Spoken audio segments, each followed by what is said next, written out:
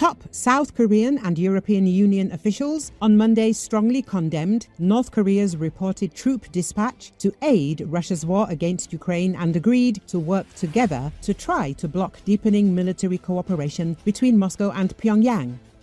North Korea's alleged troop deployment threatens to expand the almost three year long war and is causing security jitters in South Korea where many worry Russia might reward the North by giving it sophisticated weapons technology or offering a defense commitment in the event of a conflict on the Korean peninsula. In a meeting in Seoul, South Korean Defense Minister Kim Yong Hyun and the EU's visiting foreign policy chief Josep Borrell expressed serious concerns about North Korea's reported troop dispatch and strongly condemned it, according to a statement from the South Korean Defense Ministry. The US government said Thursday that about 8,000 North Korean soldiers were in Russia near Ukraine's border and preparing to join Russia's fight against Ukraine in the coming days. Ukraine's President Volodymyr Zelensky on Friday urged allies to stop just watching and take steps before North Korean troops deployed in Russia reach the battlefield. According to US, South Korean, and Ukrainian intelligence assessments, North Korea was estimated to have moved about 10,000 to 12,000 troops to Russia. If they start fighting against Ukraine forces, it would mark North Korea's first participation in a large scale conflict since the end of the 1950 to 1953 Korean War. North Korean leader Kim Jong un has used the Russia Ukraine war as a way to expand defense and economic cooperation with Russia in the face of an intensifying US led pressure campaign against his advancing nuclear program. The US South Korea and others accuse North Korea of having already exported artillery shells, missiles, and other conventional arms to Russia.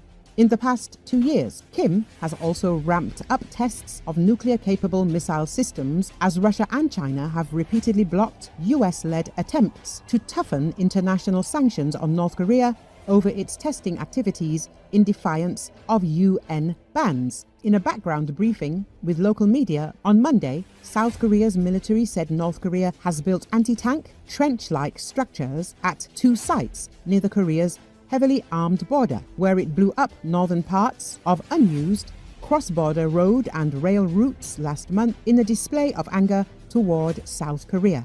One of the sites is on the western portion of the border and the other on the eastern section.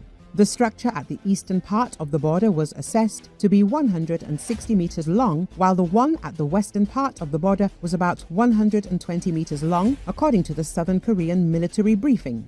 Last week, North Korea test launched an intercontinental ballistic missile designed to attack the US mainland for the first time in almost a year.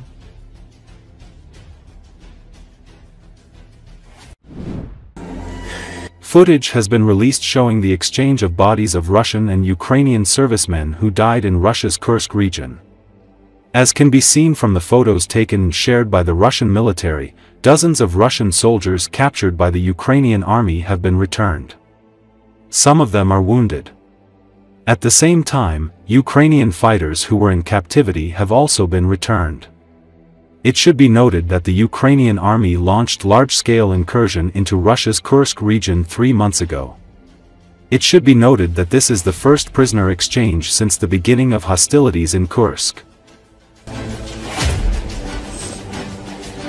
Ну и хорошо возвращаемся назад.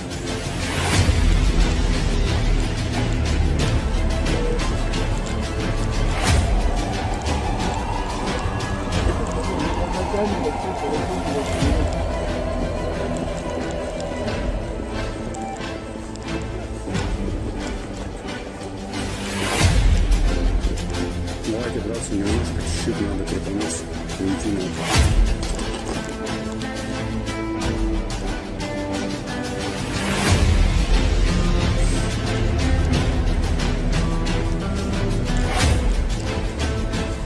Середине идете нам спокойно.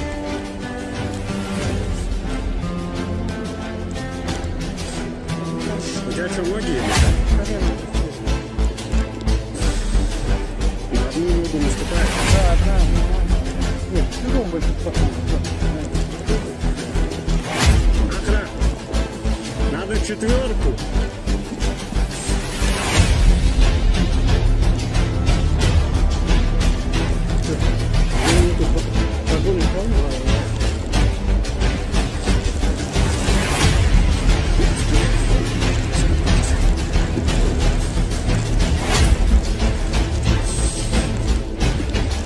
そうですね、こうもよりは、一気に見、